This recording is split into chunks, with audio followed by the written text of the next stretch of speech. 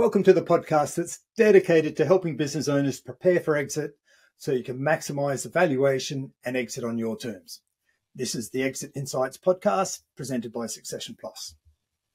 I'm Daryl Bates Brownsword, and today we've got something a little different for you.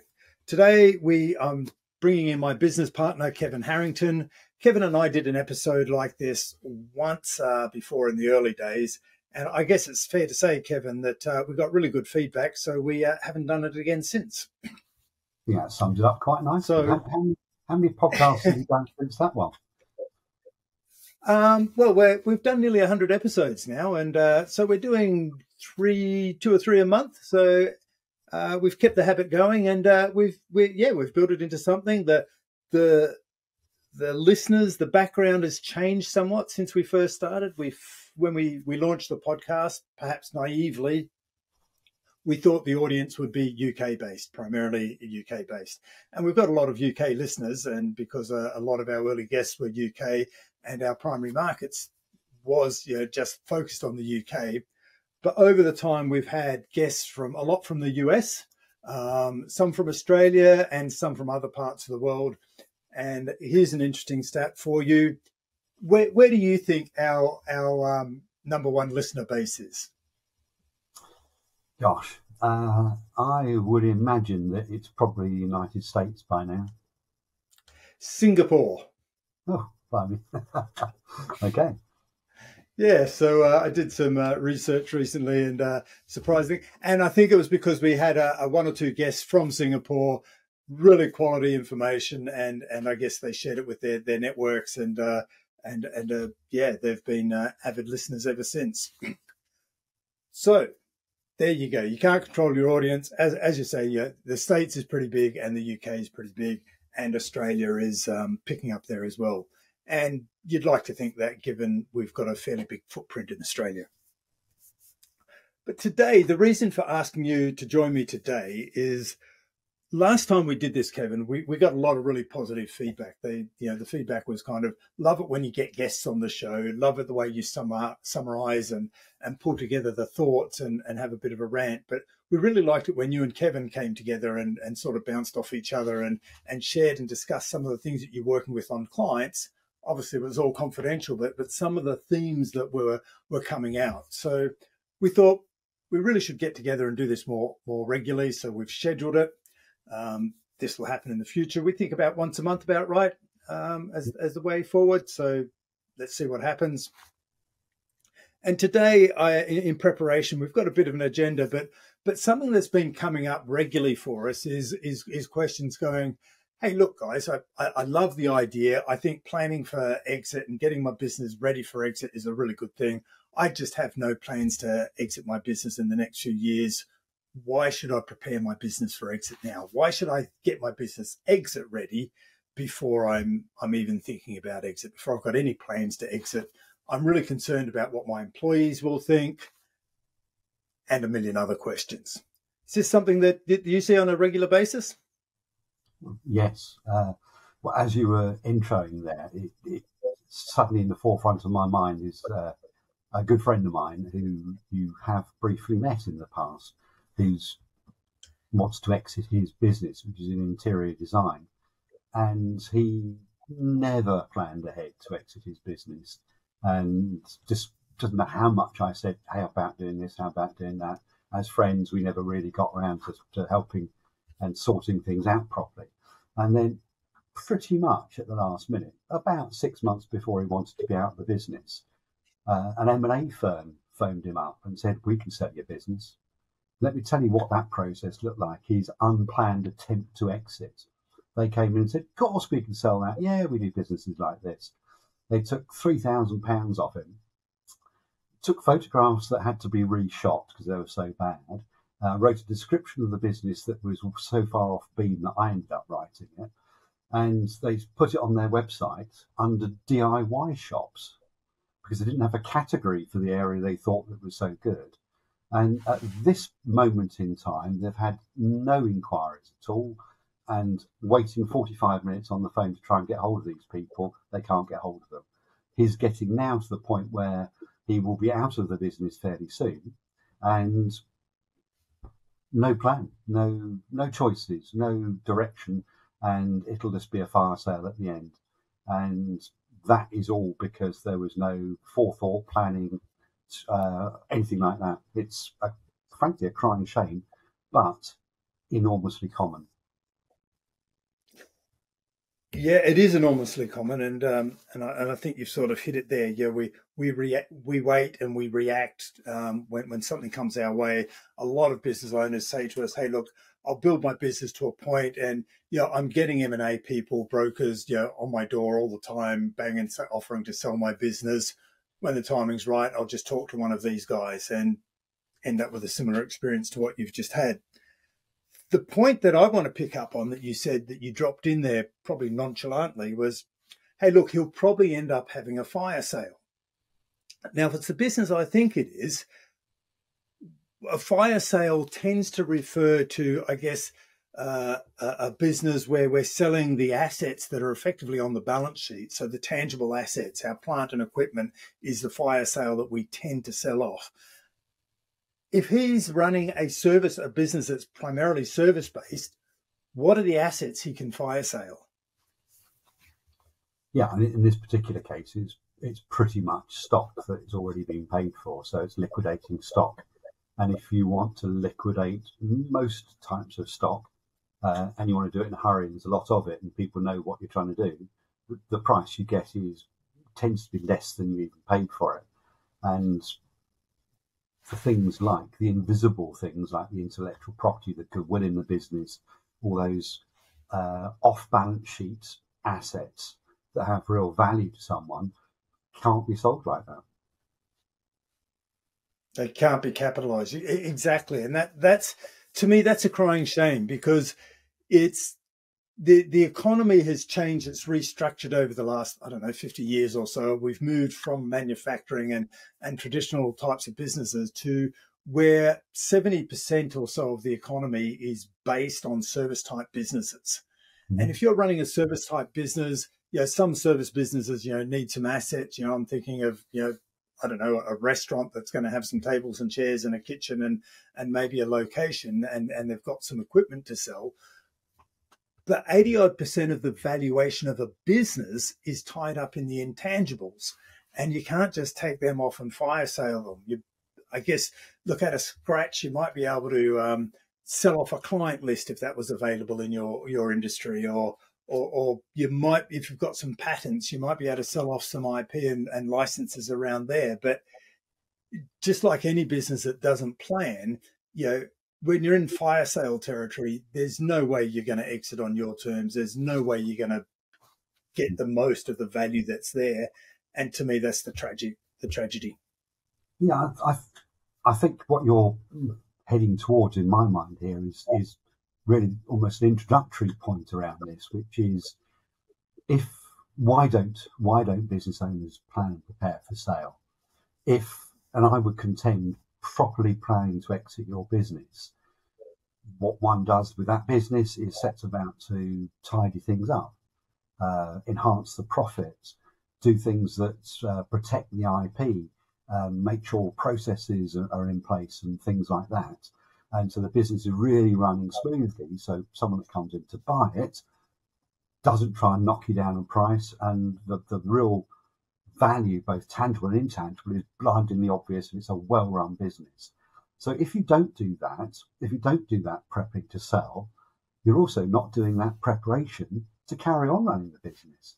So you know, if yeah. if you're going to, if you're going to stay there for ten years, you should be doing that anyway because it makes the business easier to run, easier for clients to understand, more profitable, more all those things. And it so happens that if you run your business like that, it's easier to package it up for sale and get the true value you deserve from it. Yeah, and and that's the I guess it's the whole purpose of this episode, isn't it? We're saying, hey, look, if you don't plan, you're just running a risk. There's all sorts of risks, and one of the risks is the only exit option that, that's going to be left to you is that your business won't be attractive when someone comes banging on the door. If they do, they'll just see that it's too risky to acquire and, and, it's too dependent on you or it's just not ready and they'll just move on to something easier So if you're not ready, the risk is that you won't exit your business and you'll be left with a fire sale, which is cents in the dollar, yeah. pennies in the pound of, of what the business is worth. So let's flip that around. If you do, we're, what we're suggesting is, hey, look, we should be turning that right around and going, hey, look, even though I'm not ready to exit my business, I'm not even thinking about exiting my business in the two, three, five year time frame, for example. Why should I be exiting my business now? What's in it for me? What's what's the upside? And and the first thing for me, Kevin, is is that uh, the number of business owners that you talk to that go, "Hey, I want to sell my business for X dollars, X pounds." I've got this number in my head but they've got no valuation. They've not had some sort of independent valuation to go, you know what, your business is actually worth that to an outside buyer because the market doesn't care what the business is worth to you, what the what you think the business owes you. The market you know, has methodologies and, and ways to value a business and assess the risk. And, and it's always a combination of, of, your profit, your current profit, and there's always a multiple to that profit. And that pro- that multiple is in simple terms, it's a risk adjuster for the likelihood of that revenue continuing once the founders or the, the current owners, custodians of the business leave. And the less risk to that ongoing revenue, the more likely that that ongoing revenue and profit is, is going to increase, the higher that multiple will be in crude terms. So that's what we're talking about here, isn't it? yes, I, I, I absolutely. And I think the, a consideration here is that if you start planning early um, to either just make your business a great place or with a view to exit it, people can start to realize as business owners that they have a lot of choices they didn't know existed. My example at the very front of this podcast was about a friend selling a business using an M&A man that walked through the door. Um, well, that's one way to go. Of course it is. But how many people realize the number of choices there are? Um, yeah, a family sale, a self the management team, employee ownership, um, lots of different things, and you can grow it before you sell it. You can. There's all sorts of things you can do. The choices we could talk about for an entire program alone. But if people start early, they can start being intelligently curious about it and thinking about, well, actually, what do I want to try and achieve out of the future? Do I still want to have a, a, a little bit of involvement in the business because I enjoy it? That's why I started it in the first place. Or do I want to just wash my hands of it all and go, but make sure I look after my close colleagues in the business that perhaps have been with me 20, 30 years? So perhaps I want to leave a legacy and allow that business to carry on in some way. You can't make those decisions and get around to concluding that as a as a transaction in two, three months. You just can't do it. And in, take employee share ownership as a, as a topic. Um, that, that can take comfortably a year without rushing at, at it. Um, and we know people that have spent a couple of years plus prepping to do what actually is the best thing for their business and sell it to an employee, um, employee, make it an employee owned business. You cannot do that, as I just said, if you start thinking about it three months beforehand. And the way you extract value depends on what choose to extract value will depend on what your personal needs are as well. You, I mean, do you seriously need one big lump sum? I mean, is that actually what you need? Um, or would you like a, a, a, fair old lump of cash and perhaps an opportunity to carry on earning from that business? Um, th- those are great choices, but if people don't sit down and consider them, and to consider them, you need to know what the business is looking like to a buyer. If you don't sit down and consider those things, you'll end up with less and less choices, and someone else eventually will tell you what the decision is. And that could well just be the bank manager eventually. Yeah. So what we've got to do is de-risk it and and planning is de-risking it because we're moving away from the hope model and you know and the the fantasy valuation model we perhaps want to start by getting some sort of realistic third party valuation of what the business is worth today through a buyer's lens and, and, and some sort of assessment and, and some sort of prediction based on what you've currently got in your business and, ex- and understanding why the valuation is what it is today. So instead of just here's your valuation, if you understand what the valuation is today and what's holding it back, if you've got time on your hands, then you can start to address those issues, uh, issues and close or improve the valuation, close the gap. If you've got some sort of aspirational number of what you want to exit for, for, for whatever reason there is behind that, you can see if this value potential in your business exists. Uh, is it going to close the gap to where you want to be? Is the value potential greater than what you want or less than what you want? And it's probably handy to find that out earlier rather than later if you know that the number, the aspirational number that you want is is is somewhere far greater than the current value potential of your business, then you need to know now when you've got some time to do something about it. I hear a lot of business owners say, "Hey, look, um, this is fantastic. I look, I am thinking about exiting my business one day, but I just need to grow it first. And one of the things that you know is is interesting. We go, well, okay, so if the valuation is based on the profit and a multiple, when you say grow the business, what is it you're growing? And they tend to say, well, I, just need to improve the profit because I think the, the multiple for my industry is, is X. And I go, okay, are there any examples in your industry where the, in, where the multiple was bigger than X? And they go, yeah, well, there's, you know, these sort of things that happen. And I go, what if you rethought about the growth of your business? I just want to grow my business first. And what if you rethought about that growth and instead of thinking about revenue or profit growth, you thought of your business as an asset and you started thinking about uh, asset value growth, growth in the valuation of your business. So while you're just growing your business before you're getting it ready, before you're getting ready for exit, you, you're looking at the business as a whole rather than just half of the equation, which is just the profit side of things. Because if you do put things in place in your business, and we touched on the intangible assets earlier, if you put things in your business that will increase the value of those intangible assets, bring those intangible assets to the front and highlight those intangible assets, chances are it's highly likely that you're going to increase the M side of the equation as well as the profit which will increase the overall valuation of your business and that will accelerate your growth. But working on the, the intangible assets often takes a year or two for them to come to the forefront and, and start to influence your valuation. You, um, you've actually touched on a thing we hear a lot. This, I want to grow. I want to grow the business. Uh, and it springs to mind, uh, my mind, a, a, business I worked with uh, a while ago. And there's, there's single purpose was to have 25 million revenue and 5 million profit. That was it. Then that was at the point they wanted to exit. There was nothing about whether that was going to be sustainable or not, or whether it was ethical or anything. Uh, it was just, we'll be 25 million with 5 million profit, and therefore there'll be a multiplier, blah, blah, blah. Now, when anyone looks at a business to buy and someone says, yeah, yeah, of course, that's that business is going to be there next year, that's where the in-depth conversation starts. What contracts have you got in place? How do you know the business is going to carry on? Because any of us can massage a business to dramatically increase the, the profit on a balance sheet by the end of the year. If we do it really expertly, uh, to absolutely maximize it to its absolute potential, the next day the business will be bust. Because We've soaked out all the, the, the, the costs on marketing. We've got rid of all of those. We've got right to the end. Bang, right, we've achieved our 25 million revenue, 5 million profit. Tomorrow, there's nothing in place to keep it going. We haven't been renewing machinery. We haven't been re- renewing contracts with our customers, etc., etc. Sustainable business is what excites most people in the world of commerce.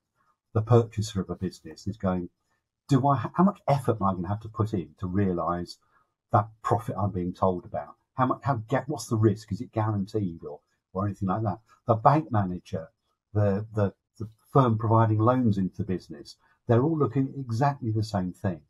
So our, our, our message here is very clear, isn't it? That tidy these things up, increase that asset value of the business, and you'll be to exit on your terms in two, three years' time or whenever you want to. But if you don't want to exit, borrowing money becomes cheaper. Uh, your customers love you more because you are a, you're more likely to be there next year and the year after and the year after that. You know, what's the point of buying a, a product from a, a, a, a company and they give you a five year guarantee when you go, to be honest, I don't think you're going to be here next year. People want longer term relationships with good value, and that's that's what preparing for exit as a side product delivers. Yeah, and and I think what you're talking about is is sustainable growth and sustainable future of the business because if if if someone just sort of knocks the financials into shape, then they're just not going to pass the first level of scrutiny. Any what what we need to bring to the attention of business owners is is for, for most business owners out there, the baby boomers, a lot of people have been working in their business for 10, 20, 30 years. These are the people who are only going to sell their business once. They got they got one business to sell and they want to get the most of that opportunity. What we need to bring to the front of their mind is that the people who are buying businesses such as this, this is not their first rodeo. They've bought businesses before, so they know what they're doing. They're buying businesses, whereas you're selling your your product or your service in your business. And when you come to sell your business, your business is now the product, and you only get to sell one of these products.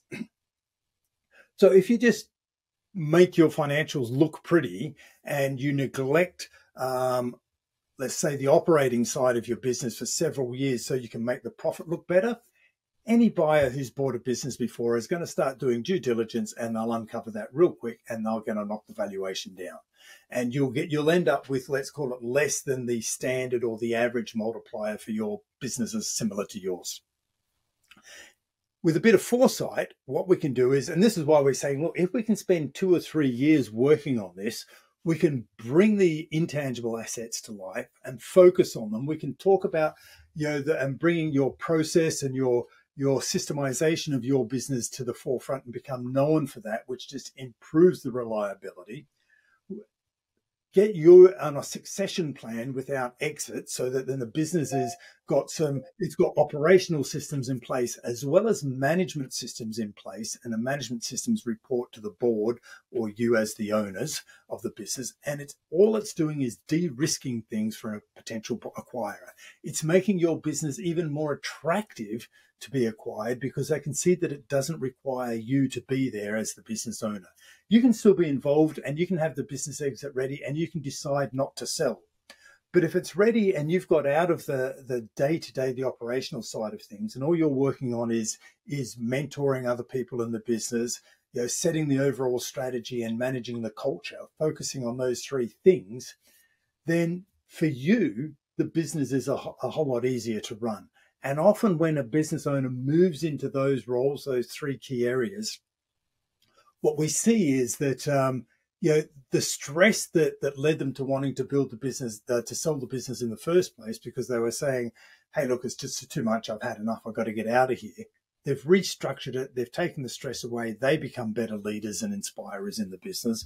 We've got a functional management team that's running the business. They've got a lot more career prospects and career options, and they're delighted. So that they've it opens up the pathways for the rest of the employees in the business to start to see career opportunities.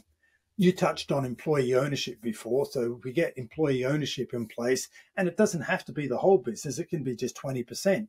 10% of the business have some sort of incentive for, for the employees in the business, that gets everyone aligned for exactly the same outcomes rather than just sales or operations or, or, or one element of the business. We're now got we're now starting to get the business where everything's pointing in the same direction and uh, it's less dependent on the owners. It's less risk for any new owners. It just becomes a really attractive proposition. And the flip, well, not the flip side, the additional benefit is that it's it's just typically more profitable to run, and it's a really enjoyable business to be involved in. Hmm. Yes, and I, I, I think here is a good time to mention the human element of this lot. we in some respects, some people might be listening to us and thinking, "Well, this is always kind of a, it's a, it's a bit of a process, and and it, it I don't really like that sort of thing. It's my business, it's my baby." To, to kick off my thinking here, I would uh, mention that in my colourful history in, in, working in different industries, at one point I was in a publishing business, a big, big publisher uh, in the UK. And I remember going to events and the, the author would come in and the author just by the dint of their presence, the room would quiet down, there'd be some mutterings, and everyone would look. It's the author. And this individual was uh, inextricably bound with the status of being an author, which is some sort of demigod, really. And that's probably the first time I, I recognize this concept of identity you. What, would, what on earth would happen to that person, that individual, that successful author, if all of a sudden they were just Joe Bloggs or, or whatever their name might be, and not an author? They'd feel naked, they'd feel like a failure compared to where they are now. And we work with people that have been enormously successful. Uh, they've put so much effort, professionalism, uh, and, and time and money and, and sacrifice things as well, getting their business to where it is, that some of them have become pillars of a community, either a geographic community or a business community, and they're known for their success and they're introduced by their success. And I think a lot of, we know a lot of people that we talk to, one of their reluctances to get planning to exit their business is that they're recognizing they're no longer going to have that apparent status of their role in, in industry or commerce. And I think putting it off, what that actually means is you just chuck yourself off a cliff at the end of it, and there is no transition. One day you're the successful uh, owner managed business that is taking things from nothing to, to a multi million pound business, and the next day you can't even find someone to go crown green bowling with. And I'm not having a go at green bowling, by the way. So I'm sure it's a lovely sport, but uh, it's the, the change is so, so radical that some people mentally suffer if they haven't prepared properly. In fact, many people do. So I think the things we're talking about, about planning ahead, also looking to the future past that moment when the transactions happen and one exits the business, uh, then includes, well, what am I going to do? What am I going to do the morning after I've sold my business when I get up in the morning? What's the new identity I'm going to have? How do I want to be known? And that takes a bit of thinking about, and often it's benefits from external people challenging that and coming up with ideas. And people I do know that have done that have had very, very fruitful lives and effectively gone on to a new life and in, in a a new business where the imperatives are different and it becomes more fun again. Yeah. So what we're saying is don't underestimate the importance of, of let's call it personal exit planning, understanding what you're going to do next because you've been wrapped up in, in being the owner of this business for so long, it becomes your identity. So what are you moving to? So we're talking about business owners being quite visionary characters they need a vision of what they're going to move on to next, and they need time to make this transition of of I guess disassociating themselves with their business so that the business can go on and flourish without them.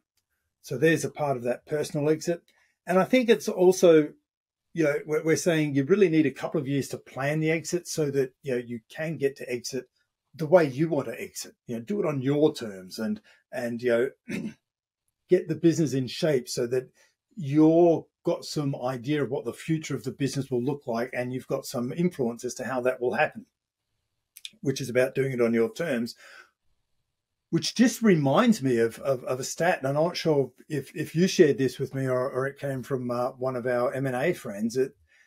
The reality is that there's of all the businesses, the privately held businesses that are on the market or that go to market for an exit, only 20% end up with some sort of deal.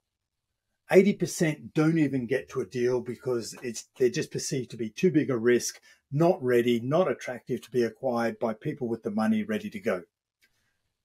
Now, of those 20%, half of them end up with some sort of earnout arrangement, which means that the buyer has made an offer, they're given an offer that they accept, but it requires them to be involved in the business, ensuring those future revenues and targets are achieved over the next two, three, maybe five years. So what that suggests to me is that business owner is they've taken the risk of building the business. They've spent 20 years uh, consuming, you know, taking on, wearing all of that risk and building the business. And at the point of exit, they're still taking a risk because they haven't prepared it so that it's attractive. So what we know is of those earnout arrangements, most of them fail. more than 50% of those earnout relationships aren't completed. And I'm just talking about where an earnout relationship where the rest of the money coming to the owners is dependent on their involvement and achieving results rather than just some sort of deferred payments. Now, if we say that less than half of those earnout re, um, requirements are completed, that means that only 10%, one in 10 of business owners that go to sell their business end up with a successful complete exit. That's got to change. That's got to change because there's just so many people depending on making that happen. So we've got to remove that risk. We've got to help them achieve that, that exit because what should be a highlight of their career ends up feeling like a messy divorce. And that's the risk if we don't plan. Exactly. Uh, let's not talk about messy divorces, but uh, that's exactly what it ends up looking and feeling like. It was only two days ago I was having coffee with a, a, a business friend, and he was telling me about his exit from his uh, his business, and his earnout ended up being zero um, through circumstances of COVID, and so he did get a cash lump, but COVID stopped it. So there's all sorts of reasons why it won't happen. I'll tell you now, if I was selling a business and I wanted to turn someone over, I'd, I'd load it into earnouts and pretty much any earnout terms I could change so that they were never achieved and I have a successful business and have the assets, and you wouldn't get your wouldn't get your earnout. That's that's so wrong, so wrong. And I think we, I suppose the thing in the UK at the moment is that it's still a nascent industry. This concept of exiting businesses, and yes, accountants provide services around these things, but they're, they're fairly limited in their range, and they're not particularly doing the advice piece. Now, how, how do you protect your IP and recognize your IP, protect it, demonstrate it, and have it as something that someone wants to buy? An accountant doesn't generally look at that. They're working on a balance sheet and a, and a standard multiplier. If if the business was making a million profit on a five times multiplier, um, look how much it would change if you increased the revenue by a bit, but the profit went up 10% and the multiplier went up another two times, that's a fortune. You know, that's a lot of money. And that's what people need to be looking at. Like they need to be understanding the, the mechanics of the deal and saying, how can I pull the levers so that my profit goes the right way, my multiplier goes the right way, I'm in control, and I can have a sweet exit where I'm happy uh, and I'm looking after my industry colleagues, my, my people I've been working with, and I can do what I choose to do afterwards rather than helping someone turn me over on an earnout. Yeah. So what you're reminding me of there, Kevin, is that there's a number of things that we need to do to get the business exit ready. We work to our, you know, we talked about IP and trademarks and protecting and process and being known for a process. We're known for our process, not with the 21 steps. And the 21 steps are all the things that you need to consider and address for getting your business exit ready.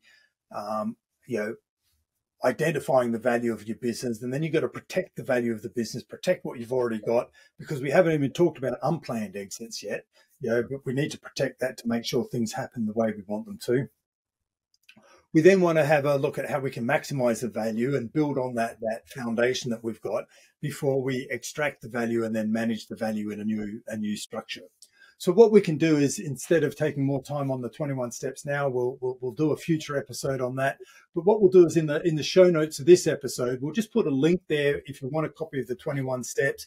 If you want to see what you need to be considering, what you want to address as a business owner to start thinking about getting your business ready, uh, and, and all the topics you want to address because buyers are looking at these things. We'll, we'll put a copy of that in the show notes. That sounds excellent. But Kevin, I, I, think. So I feel a, I feel a blog post coming on here as well, summarising some of this. so we'll, we'll, do a blog post. We'll, we'll put a, a, link in the show notes. But I think we've covered. You know, we, we've covered a whole lot of things that we want to make sure that we just want to share with business owners of the importance of thinking early about this, even if you don't want to exit. If you've got no plans to exit, you want your business to be attractive because then you can also take advantage of opportunities that you didn't even see coming. If you're on the front foot, you can respond to opportunities quickly, um, and then and buyers won't run away. Sounds good to me. Hey, that's probably all we got time for today. Thanks for joining me, Kevin. Really appreciate you sharing your thoughts and your wisdom and experience. I'll look forward to uh, speaking with you in a month or so. Absolutely. And how do you think the company uniform's working out? the, the matching shirts. Well, you have to be watching this on uh, YouTube to uh, know what Kevin's talking about there. but thank, thank you. And I look forward to doing another one of these soon.